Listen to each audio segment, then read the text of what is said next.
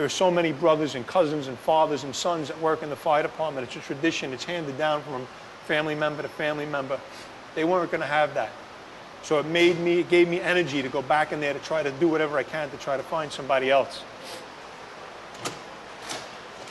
Continue working that day. We're doing everything that we have to do to see if we can find people. My brother and I are staying together with one another.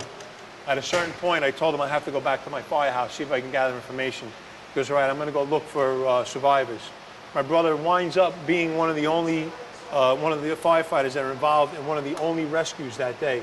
A gentleman by the name of Pasquale was on the seventh floor landing with about 30 other uh, civilians from his office. And when the building collapsed, he was left on an 18 inch by 18 inch piece of concrete with a piece of railing. The whole building disappeared. All those people that were with him disappeared. He was stuck on that railing seven stories up with just a little piece of narrow uh, framework below him, so he could not get down. My brother and a couple of the firefighters from Rescue 5 tied a rope off to him and they lowered him down. He's one of the only rescues to come out of the Trade Center after the collapse of both towers. I do remember when I was in the tower running from doorway to doorway and thinking to myself, when I was a child, my mother told me if there's ever an earthquake, you stand in the doorway. I'm thinking, as an adult, when is there going to be an earthquake in New York City? And I got to worry about having this information in the back of my head. From the day, from the morning of the attack of the Trade Center, I kept thinking, stay in the doorway, just in case any debris falls, the doorway's going to hold. I was in the doorway when the tower collapsed. I don't know that that's what saved my life. That piece of information from my mom and the help from God. I was with 40 other firefighters. Not one of those firefighters I was with came out of that window behind me. The one firefighter from the basement and the four civilians that came up with him were the only people to come out of that window. A miracle that I survived? Absolutely. My relationship with God has been absolutely bonded. There's nothing that anyone could tell me that he does not exist. There are way too many coincidences. My relationship with him has been great. It continues to be great. That night, I come back to the firehouse. I find out there are a couple of guys missing. We don't know where they are. We're assuming that they were killed in the Trade Center. We still have hope that maybe they were alive. We get word that many of the uh, uniforms are missing off the rack and that our guys had run to the firehouse, put on their uniforms, and they're missing. So we have a, a, feeling that many of the guys from the firehouse, there are 50 guys that work here, at least half of them are gone. Turns out that a lot of firefighters knew this firehouse was here. They came here to get the gear rather than go to their firehouse and then come back to New York and to Lower Manhattan. They came to our firehouse. They borrowed our gear. They died in our gear. The guys that were missing were beginning to show up at the firehouse. We started to put together that it wasn't them in the trade center, but now it's other firefighters that we can't even identify we have no idea how to know who they are. Later on, they had to do DNA, DNA testing um, to try to find out who these firefighters were.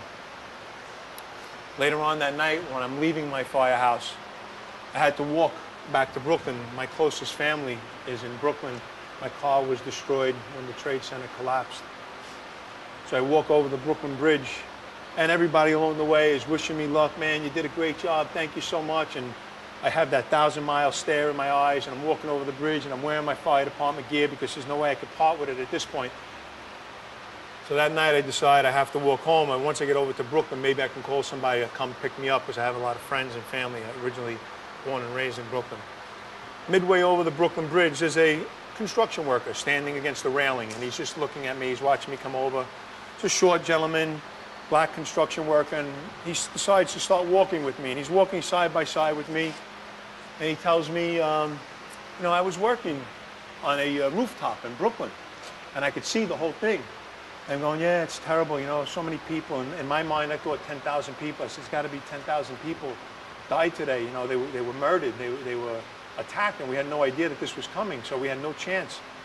And he's like, you know, well, God has a bigger plan. You know, you, you have to think this, think that this is God's plan and God's way of doing things. And he made you survive for a reason. You have to tell the story. You know, you were there and, and you have to let everyone know about your guys and keep their memory alive and, and help their families. And I says, yeah, you know, this is, this is a long road now ahead of me. This is, this is something that I have to do, and I'm fortunate to survive and, and not one of the guys that perished that day, but I am. I'm going to keep their memory alive, and I'm going to talk to their families. I'm going to tell them that their sons and, their, and that their husbands died heroes. They were, they were running up the stairs when everybody was running out, knowing that they're not going to come home this day. That's our number one rule in the firehouse. You come home every day. They knew they weren't. They knew they were going up there for the last time. They were nothing was going to stop them when they were watching people jumping from that building.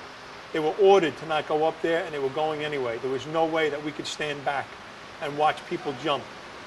Some people thought the fire department impeded their exit. I said, "This is impossible. It was because of us that there was organization, that the chaos came to an organized scene where we were able to evacuate 35,000 people in an hour from the entire World Trade Center area. That is miraculous in itself, in an hour to evacuate a city's worth of people to get them to safety. People have come up to me and they said, Where was God that day? You believe in God? I said, He was everywhere. He was in every single firefighter, every single rescue worker, every single person that put themselves in that building to help save people. 343 firefighters died. Not one of them started the day off in that building. Every one of them came here to help. Every one of them put their lives on the line to save the people and the citizens of New York. So God was everywhere. The fact that 2,790 people died is a shame. And that if we had more time, I think we would have been able to save more people. But God was doing his best to fight the evil that had been put in front of us in every single one of us.